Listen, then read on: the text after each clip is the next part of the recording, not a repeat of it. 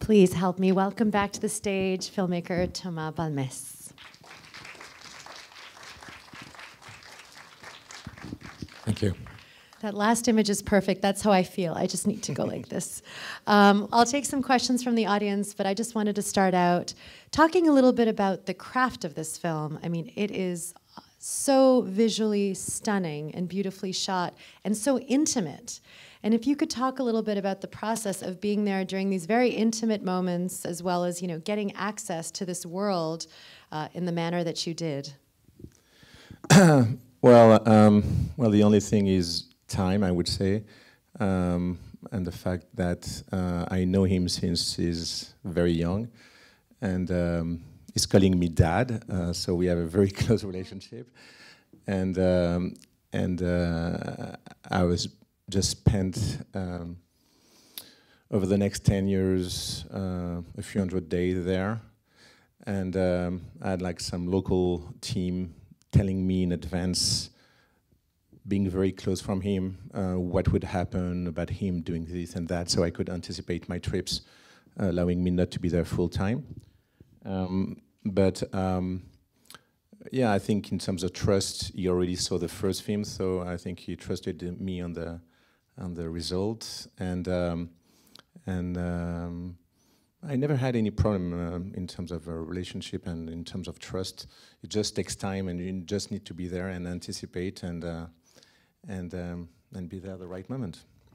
And it's interesting to hear you say that he would call you dad. Yeah. Because what's so amazing here is there's so many moments where you just want to reach out and say, Don't you see what's happening? Or are you sure? And here I very much felt that you held your distance and you really let him make all of his choices the way he would make his choices. And can you talk a little bit about that relationship as a filmmaker of somebody who knows a subject, obviously, for so long? and how you did kind of maintain that restraint as the story unfolded. Yeah, I mean, uh, it's a kind of question which is you're always confronted not only with this film but in all of my previous films. Um, and um, I should never, I never feel like interfering. I did a film called Babies a few years ago, and uh, the mother of the baby in Africa was asking me, "Shall I send her to school or not?" And uh, I remember having this kind of discussion in France in dinners, and people saying, "This is insane. You have to. she absolutely has to go to school." And and uh, and this was absolutely not obvious at all. And uh, and they were living such a happy life the way they were living, not going to school that I didn't feel like. So it's uh, it's something you learn film after film of not interfering, I would say, and uh, and things uh, turn out the way they, they should, and uh, they have to learn by themselves. It's uh, impossible for me to, to just tell him, don't do this, don't do that. He has to, to, to go through the process himself. Now he's asking me, what shall I do? Shall I stay in the monastery? He wants to be a filmmaker, so. Uh, what do you say? I, I, just, I just let him decide by himself. Um, he's like uh, with all the monks um, that are doing kung fu films uh, is very good. In fact, he's doing that with his mobile phone and is a director and he's always the hero also. So he's uh, giving him the best role in every film he's directing. That's the amazing thing about documentary. If you had written that as a script in a fiction film, they'd say, no, that's just too unrealistic. But here it's really what life is. Yeah. And I had another question. It's one thing when people allow you to film their lives when things are clear and when you're young and when you're happy. And here there's so many moments that he's experiencing heartbreak and just mm-hmm. genuine conflict. Were there moments where he might say, you know, this is a moment like don't don't film or let's take a break? No, this is something very Western. Uh, it's uh, never happened. Uh, no, he, he, he, I think he just felt I was there all along and uh, he understood what I was doing and uh, he just lived the things he had to live. Has he seen the film? Yeah, of course. They all have seen the films. Uh, he didn't say that much. He just said, okay, good. Incredible. Uh, let's take some questions from the audience. Raise your hand high and I will repeat the question. Right here, yes.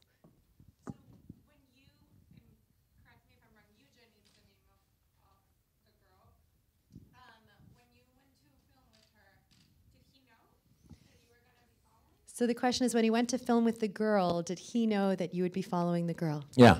I told him. Uh, I told him I would go there and follow the whole meeting and everything. But I didn't tell him anything about it. I just told him I would be there and following on both sides until they would meet. Right there.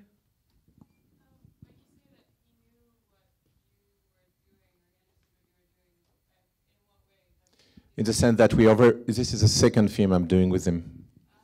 There is another film which I've done uh, 10 years ago called Happiness, which was shown in the US on uh, PBS, on uh, Independent Lens. I think it's distributed still, you can find it. Um, and um, so we, we, we spent already a long time together and he already did the, the film, so he understood the whole process and the whole outcome there would be. He, yeah, he, underst he understood it was about um, uh, the first film was supposed to be about uh, in, in, fact, the first film was supposed to be this one, in the sense that uh, I decided to do the first film. Uh, the TV was about to arrive in their village, and finally it took three years to arrive because of road construction problems, and uh, and so everything was delayed. So the previous film is following him, expecting the arrival of television with the rest of the village, and you can see the whole community selling their yak uh, to buy TVs to be ready when the TV electricity will be arriving to, to, to be the first one to watch TV. So you have all the men sending one after another the yak and uh, going into Tibet to buy TVs to be ready when TV arrives. And the film finishes when TV arrives, and they are watching full-time American wrestling, which was their favorite program, um, which still is. It's uh, very, very popular in uh, Bhutan. Um, and um, and and then I didn't really, I couldn't observe the effect of these screens. So I just let a few years pass and I came back. And the first thing I saw when I came back is this image that you see in the monastery uh, of every single monk on their mobile phone. And then I thought maybe there is a new film to do. Yes. So the question is who pays for the mobile phones, including the contracts?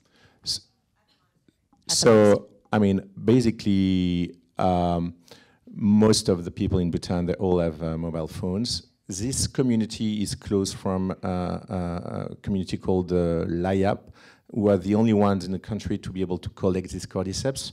And they are much more well. They used to be the poorer of the country, and now they are the most wealthy of the whole country because of that. They can collect these um, mushrooms, uh, which are worms which transform into mushrooms, and they sell it to China for a fortune. Um, and because of that, the parents and the family have a lot of money, so they can uh, buy very high-tech uh, iPhones.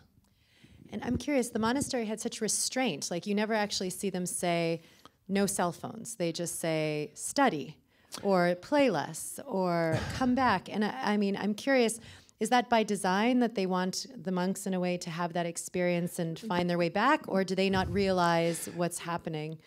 So, uh, I mean, I think the head monks are among the most addicted to the mobile phones. Uh, uh, there was a scene, in, even if it's not allowed, they are themselves uh, all the time playing uh, stupid games or on, on social network, but they are, they are not supposed to. And the scene where you, you see them just playing by themselves, there were no headmaster around if there is a headmaster, they, they, they, they, would put their phone in their pocket and they wouldn't do it because it's not really allowed to do it. But uh, so they, they, do it in their rooms or they do it in the dorms. But um, if, this moment, as soon as no one is there, they just take out their phones and just play.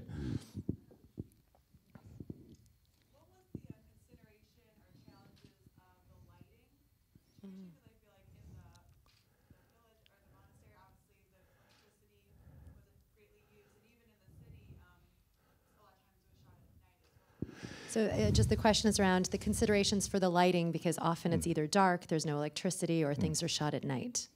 Well, we used um, a very, very sensitive camera and very sensitive lenses. We never had any any light. So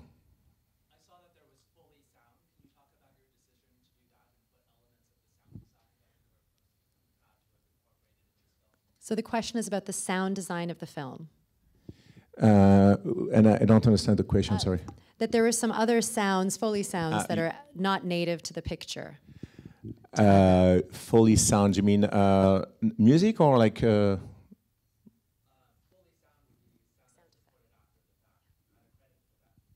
ah, yeah, yeah. No, we, we just. Um, we just uh, recorded everything on 5.1 and we came back to re-record. We had a specific trip on every locations where we we shot to have a real. I really wanted the film to be uh, a sound experience, so we, we did a lot of work with the sound to to to recreate space as. Um, as sometimes when I'm shooting, we don't have that many mics, and it's not too. So we we worked a lot on the sound more than any of my films, because this is a film for theaters. So it's gonna they're gonna be theatrical releases in different places, hopefully in the US soon. So this is why there's a specific work on the It paid off. I have to say, I was sitting right here in the middle, and you really felt completely immersed in the film. It's beautiful. We have time for one last question. Right there in the back. Short questions. Uh, if you can tell a little bit how you found that boy 10 years ago about the casting process. And uh, second is, I assume you don't speak the language. If you can tell us how did you manage to understand what happens every day? Was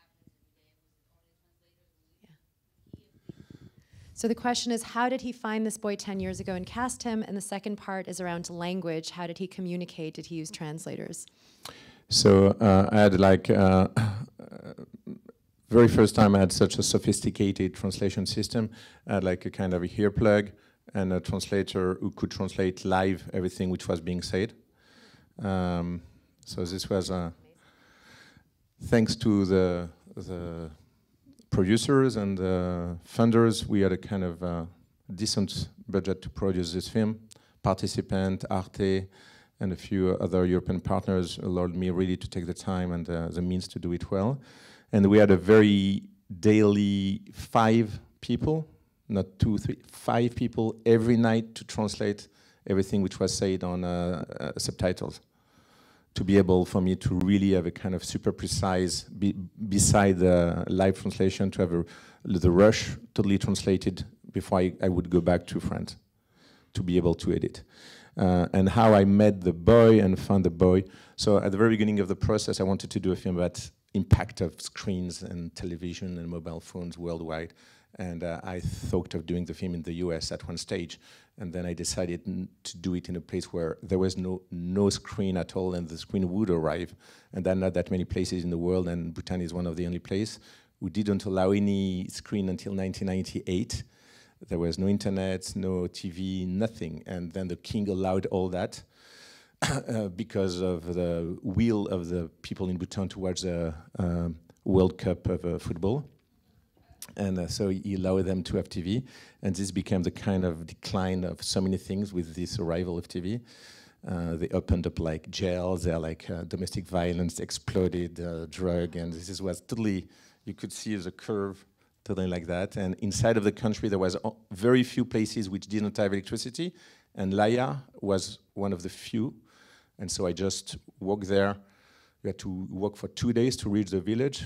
After one day of car, so it was a very long trip. And then when I arrived, immediately, uh, maybe the second day, I just saw this guy just jumping everywhere, and uh, you could not miss him. He was like uh, the only one like that in the whole village, and I just immediately felt like, okay, I have my character.